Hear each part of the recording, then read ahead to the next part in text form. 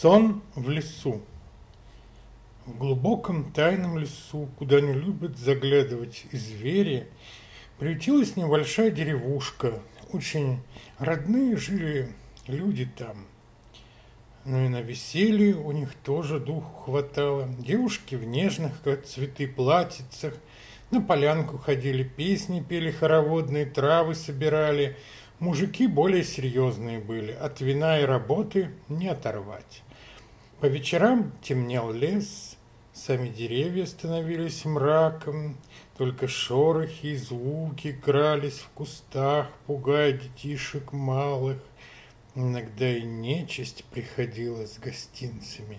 В такие часы деревенские боялись в избах одни оставаться. Все друг к дружке жались. Во дворе где-нибудь собирались, костер жгли. Кто истории рассказывал, похождения всякие, а кто поумнее молитвы особые про себя читал, порой и бабонька какая-нибудь схлипывала у костра от страху.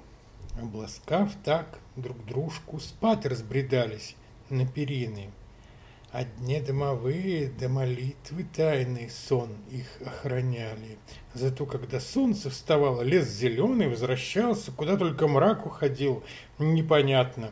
Шорохи пропадали, нечистый дремать уходил птичьи, божьи птички запросто его. За место его прилетали. Девушки поводу шли, важно друг с другом здоровались. У старушек страх с души исчезал. Мужчины с ранних часов медом, вином и работой баловались. После обеда спали все в сладости, а после душу друг другу раскрывали. И за этим занятием очень скоро часов проходило. Спокойные вечера, скатерть раскладывали, самовар приносили, девки пампушек напекут, квасу, пиво домашнее несут, чтобы о душе говорить слаще было. Тихие, одним словом, были люди, нежные, немного загадочные. Среди них девушка Настя жила – волосы золотистые, глаза голубые, то умные, то детские, личико белое, как снег в небесах. Молодежь деревенская между тем в прятки играть любила, и Настя тоже этой игрой не брезговала. Бывало, соберутся в вечеру на закате и прячутся. По-особенному они в эту игру играли, с задумкой и всерьез. Однажды собрались вот так и начали играть. Разбежались все по дальним местам, куда и медведь не заглядывал, только эхо одно доходило. Но как не прятались, нашли все все-таки потаенных, только смотрят, а Насти нет. Искали, искали, нет нигде девушки. Вся деревня стала потом ходить, даже детишки отличились. Пропала Настя. И все, словно она ягодой какой обернулась. В деревне той ночевал проезжий, опытный человек с нюхом. Он и так полагал и эдак, и по колдовству, и по уму, и тоже не смог найти. Вот это спряталась. Наверное, сама себя найти не может, подумал он. Горе объяло деревню, ведь каждый как родной – Куда могла уйти душенька странствовать? Проезжий запил, загрустил и скоро уехал. Деревня долго горевала. Прошло более года. Сколько воды утекло, сколько стихий прошумело в лесу, сколько духов с пути верного сбилось. И однажды этот проезжий опять попал в те края. Идет и думает, а как же Настя, есть ли могилка ее... Или растащили по кускам бедное тело. Приходят в ту же деревню, первым делом о Насте заговаривают. «А как же, нашлась!» – отвечают ему.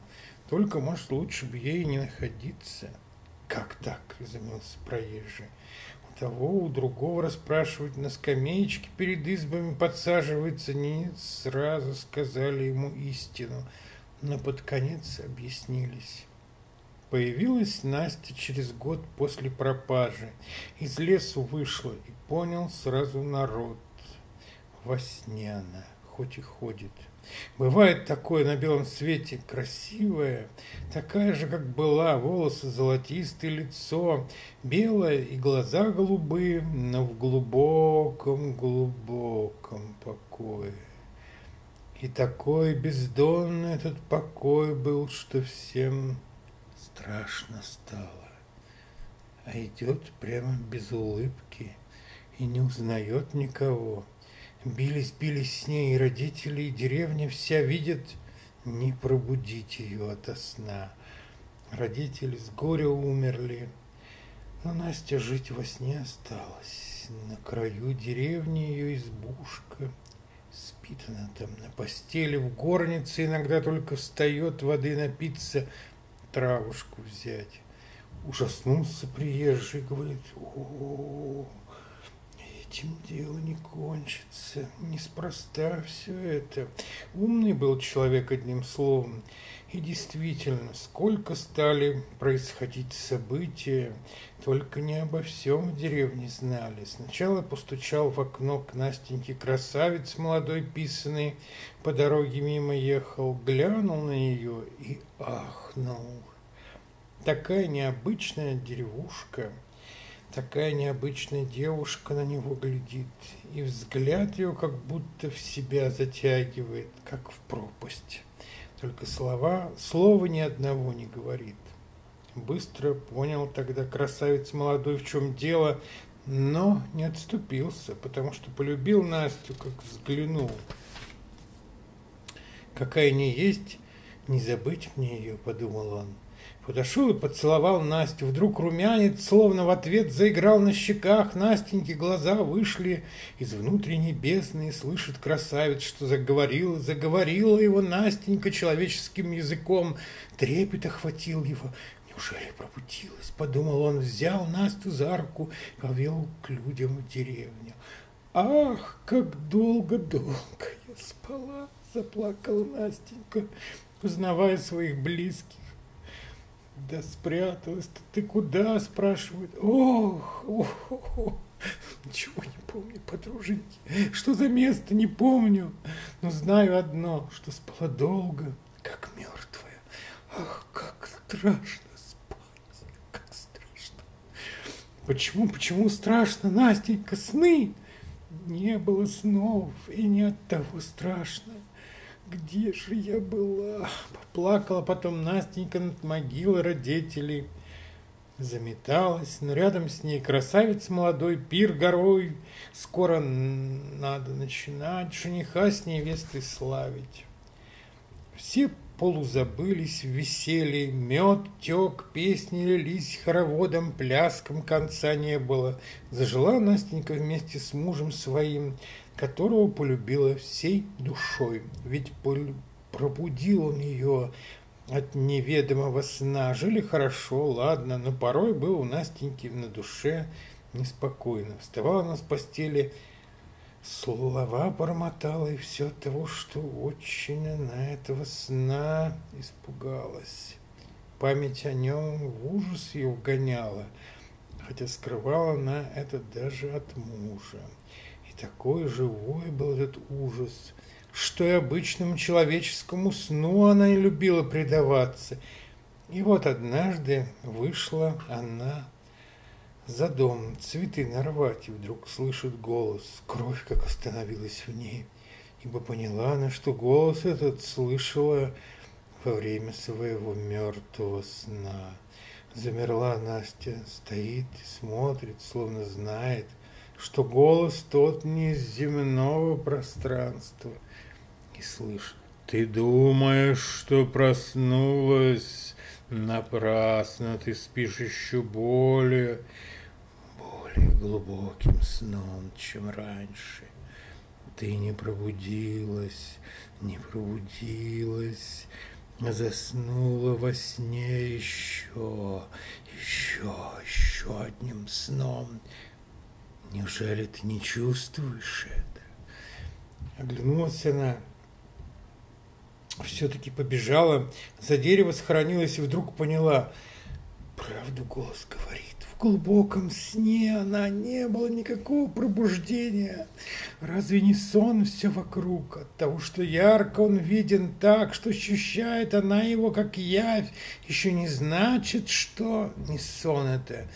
Живой сон еще страшнее мертвого, ибо и в голову не придет, что это лишь сновидение, подумала Настенька и вышла на дорогу за околицу. Значит, любовь не только не пробудила ее, а в еще больший сон погрузила. Холодно и стало. Смотрит на небо, на звезды Настенька, но страх перед сном, прежний, непонятный, сжал сердце уже по-новому, с большей силой. Измолилась тогда Настенька по-черному, так упав на колени посреди пустой дороги чтобы освободили ее и пробудили ото сна. И почудилось ей, что в душе ее сметенный ответ даже есть. Боль, боль, боль, боль, только одна может от сна пробудить. Встала Настенька, пошла обратно на лес, в шорохах, в пении, и глаза не глядит. Что на сон смотреть, а сама думает. От боли даже мертвые встают. Боль, боль, боль, боль, мое спасение. Пришла домой, от мужа все скрывает, как будто жизнь это все, а не грезы. Он счастливый, ничего не замечает, прожили две недели. Вдруг, как гром посреди чистого сон, сонного неба умирает молодой муж, красавец, как дуб подрубленный, быстро сгорел, плачет, бьется Настенька, но только когда одна дома в темноте оказалась, и боль великая объяла ее, поняла она, что это значит, ведь получила она то, что хотела, и в горе таком прожила она много дней, глаза высохли, губы затихли от одиночества, никого и видеть не хочет. Одна около дома или в лесу бродит. Наконец сил совсем не осталось. Бросила все и уехала далеко-далеко в город.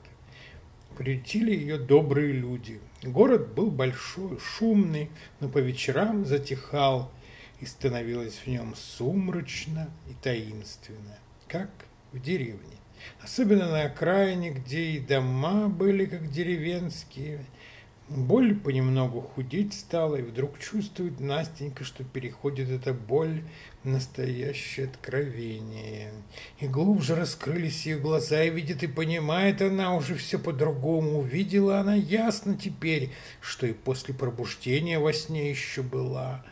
Но сон тот блаженный был, весь радугой счастья озаренный, но спала, спала сейчас пелена, и звезды, и небо, и город этот открылись ей во всех цветах бездны.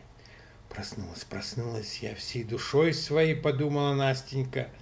На другой день словно чудо с ней произошло. Видит, все люди в этом городе ясны для ее для нее стали, точно весь мир на ладошке лежит, кому идет погадать, тому сразу отгадывает, кого полечить, захочет, вылечивает. И старый млад потянулись к Настеньке, ну вот теперь я взаправду проснулась, решила она.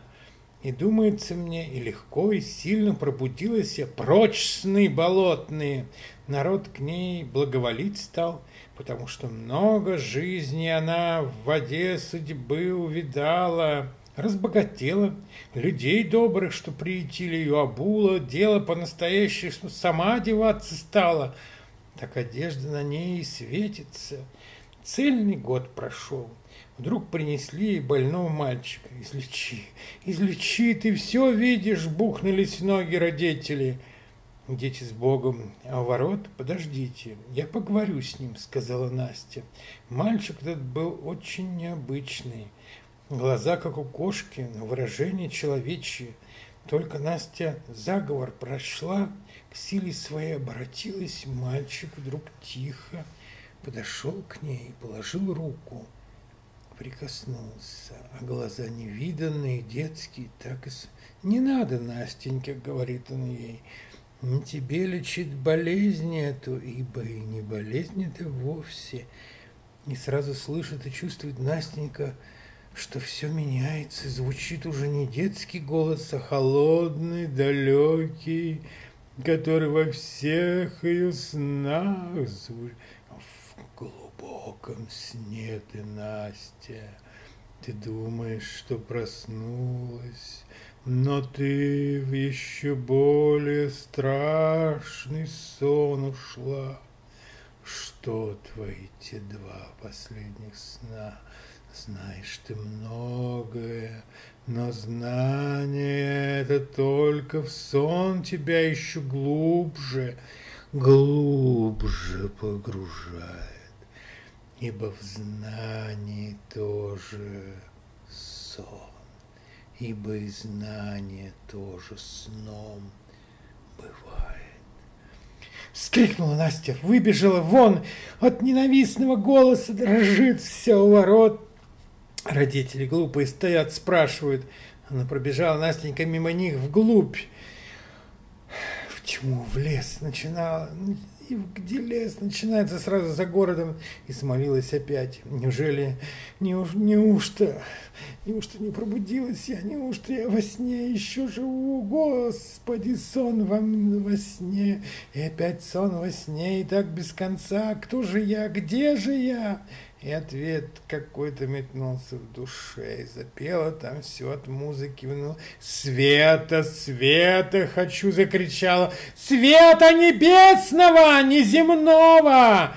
И упал тут свет мгновенно, как струя в душе ее, и озарилась она, и возликовала. Все вижу, все вижу, везде и себя вижу. Стала я из тьмы, Проснулась. Но пожалел, видно, кто-то ее. И совсем не здешних. Видит, белая девушка стоит рядом, очень похожая на нее, в русской одежде, как вторая Настя улыбается, а тьма нигде нет. Корона небесной России сверкает на ней. «Слушай, Настенька, — говорит девушка, — изведешься ты, совсем пропадешь. Не тот свет это, ибо и свет разный бывает. Не пробуждение это. Девушка подошла поближе, сделала жест рукой, и вдруг почувствовала мгновение Настенька, что означало бы, если бы она на самом деле проснулась. Рухнул бы мир, как будто его и не было, со всем его умом, со светом, бормотанием и откровением. Но что было бы за, на место мира сего? Что было бы, в то не могла проникнуть Настенька даже на секунду. И слава Богу, что не могла. Не для человеков это. Потом все прошло, опомнилась девушка по-прежнему рядом, на Настеньку. «Иди, бедная, не мучайся», — сказала она и коснулась ее своей рукой. «Теперь ты знаешь, иди, иди, иди, ты очнешься в своей деревне, и она не сон». Все пропало в глазах Настеньки, исчезло, только точно в глубокую ночь провалилась. Долго ли, коротко, такая тьма была, вдруг слышит она, голоса над ней раздаются, с трудом открывает Настя тяжелые веки и видит, лежит она в избе на постели, а кругом ее деревенские ходят, лица у всех озабочены. Проснулась, проснулась, кричат. Что, что со мной, спрашивают на Лучшая подружка кинулась к ней. Настя, помнишь, мы в прятки играли, потерялась ты. Потом из леса вышла, ну, сонная, как по луне шла. А теперь ты проснулась. Не будем сказывать, как уладился такой необычный случай. Наконец прошло время. Настя счастливо зажила, Душонок подружек еще крепче полюбила. Вместе песни новые сочинять стали, По лесу дремучему ходить, душу открывать. Только в прятки Настенька уже не хотела играть. А то спрячешься действительно, Бог знает куда, и никто не найдет.